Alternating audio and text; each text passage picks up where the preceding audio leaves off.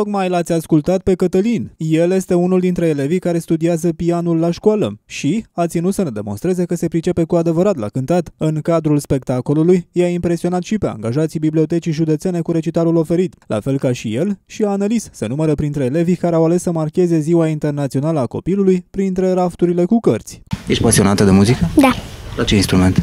când din gură. Vocal. Da. Cum uh, este pregătirea? Cum sunt profesorii la școală? Bine, bun. Pentru tine ce înseamnă această zi pe care noi uh, ne pregătim să o sărbătorim, Ziua Internațională a Copilului? Îmi place foarte mult. De ce? Pentru că este ziua noastră.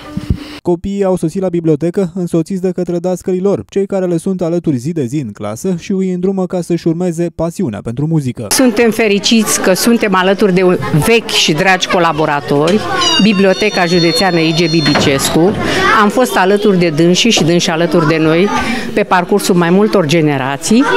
Astăzi, pentru a sărbători Ziua Internațională a Copilului, uh, ne aflăm pentru prima dată la bibliotecă. Am pregătit un frumos program uh, și acest program va arăta ce talente sunt încă de la cea mai mică vârstă cultivate la Liceul de Arte Iște Paulian. Iar acest lucru a fost sesizat din plin chiar astăzi de către angajații bibliotecii care au privit cu emoție spectacolul oferit de către elevii școlii. Copiii au venit la noi, au răspuns uh, prezent.